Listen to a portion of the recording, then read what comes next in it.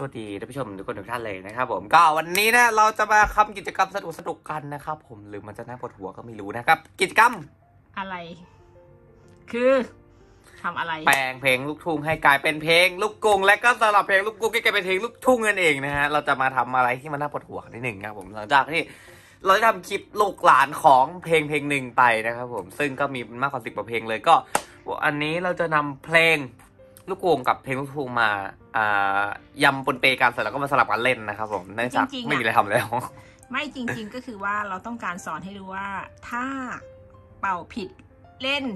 ลูกเล่นผิดจากลูกกรุง มันจะเปลี่ยนเป็นลูกทุ่ง แล้วเช่นกันถ้าจากลูกทุ่งมันจะเปลี่ยนเป็นลูกกรุงโป๊ะทันทีเลยนะครับผมมันจะสลับแนวเพลงไปทันทีนะฮะแล้วลูกเล่นมันต่างกันแค่นิดเดียวด้วยนะ นะคะวันนี้สรุปก็คือว่าเราจะมาสอนในเรื่องของ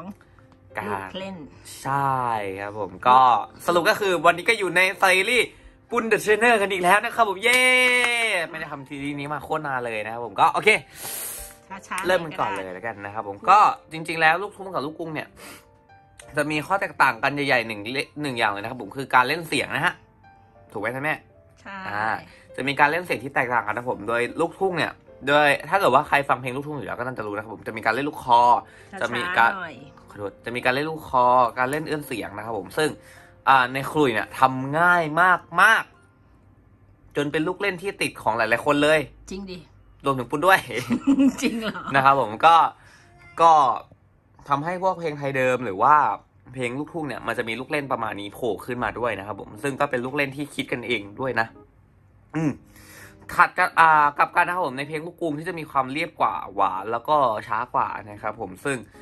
ก็จะเป่าค่อนข้างจะเรียบกว่า แล้วก็เป่า มันก็ไม่ได้ง่ายกว่า มันก็ก็ยากเหมือนกันอะ ก็ต้องคุมนะฮะว่าเออถ้าเกิดว่าเราเล่นลูกทุ่งไปเล่นลูกกรุงไประวังอย่าให้มันทับกันด้วยนะอ่า คืออย่าให้ติดว่าอย่างนั้นติดสำเนียงใดสำเนียงหนึ่งใช่ แต่ว่าเวลาเป่าต้อง เป๊ะเป๊ะใช่ครับผม โอเคเราจะมาเริ่มจากเพลงที่เราเคยเป่ากันไปสองเพลงนะฮะ วันนี้เราจะเล่นเพลงอธิษฐานรักแล้วกันนะฮะ แล้วก็เพลงอะดูกันตอบให้เขาหน่อยก็ได้ มามาดูกันไป อะ โอเคเอ้ยโอเค มาครับ อะ เริ่ม อธิษฐานรักเริ่มอย่างไร โอเค รอบนี้เรามาเริ่มกันแบบธรรมดาธรรมดาก่อนนะ แบบซอฟต์ๆแบบทั่วไปนะครับ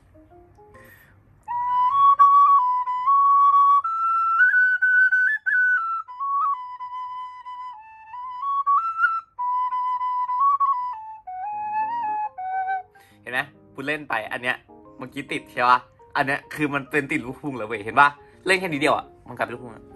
ถัดกันนะครับผม ถ้าเป็นเล่นแบบเรียบ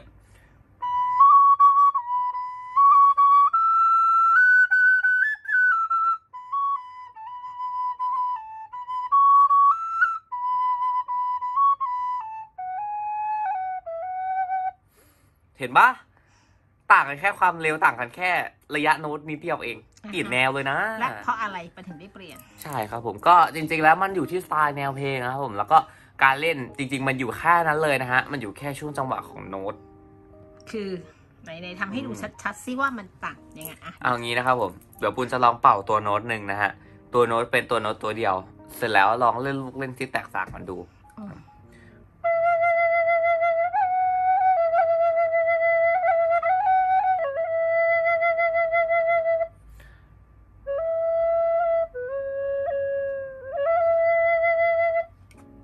เล่นแตกต่าง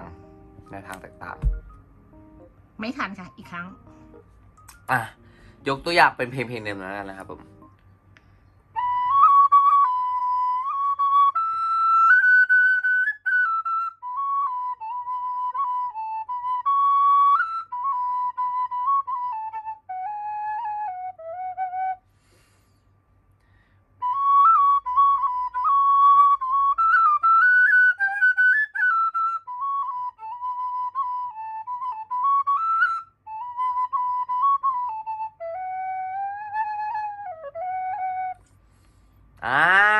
เริ่มชัดยัง แค่นี้นะฮะ เห็นไหมว่าเล่นลูกเล่น แค่ความมากความน้อยของลูกเล่นก็ต่างกันแล้วนะ แนวทางก็ต่างกัน การเล่นก็ต่างกันแล้วนะครับผมนิดเดียวเองเห็นปะอือฮึมันมีมันมีช่วงมันมีช่วงคำระหว่างลูกคุ้งกับลูกกุ้งซึ่งลูกทุ่งกับลูกกรุงซึ่งมันน้อยมากๆนะฮะ ก็เตือนถึงชาวคุยทุกคนที่ครับผมก็เวลาเล่นก็ระวังกันนิดนึงนะฮะอย่าให้ผิดแนวเพลงนะเพราะว่าปุ่นผิดมาแล้วนะครับผมหลายรอบเลย สะอื้นเลยใช่ไหมเนี่ย ใช่ หลายรอบมากนะครับผม อ่าฮะแล้วไหนลองลูกทุ่ง แล้วมาเป่าอ่าลูกกลุ่มกันดูไหมโอเค นะเรามาเล่นลูกทุ่งกันแบบธรรมดาก่อนแล้วกันนะฮะกับเพลงนี้ครับ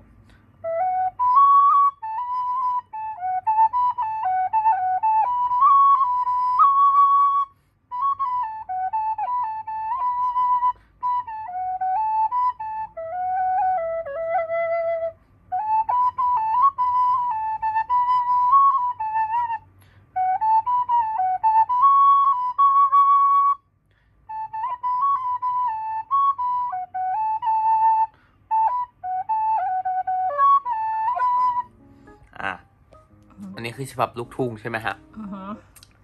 กับการถ้าเราทำให้มันเรียบขึ้นนิดนึง มันจะปิดในข้างนั้น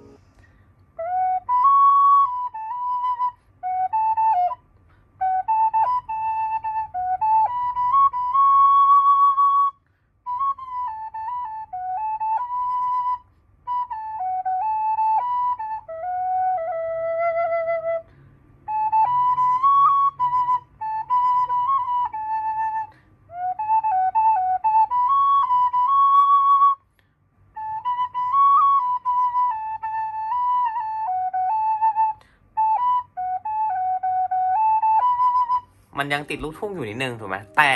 มันเริ่มเปลี่ยนมาเห็นปะมันกลายเป็นสตริงผสมลูกทุ่ง ใช่ครับผม เห็นปะมันเปลี่ยนมาอีกนิดนึง เปลี่ยนแนวแล้วนะ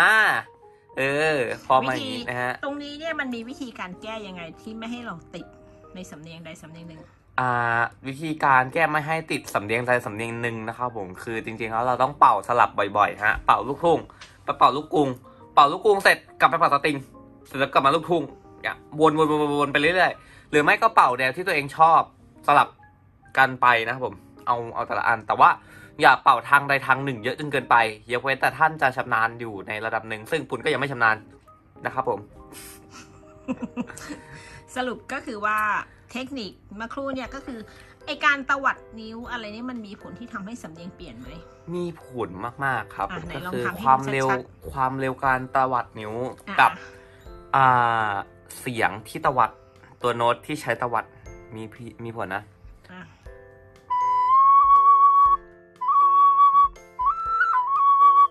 อะสามรูปแบบเห็นปะแค่เนี้ย แตกต่างกันแล้ว เป็นโน้ตตัวอะไรคะ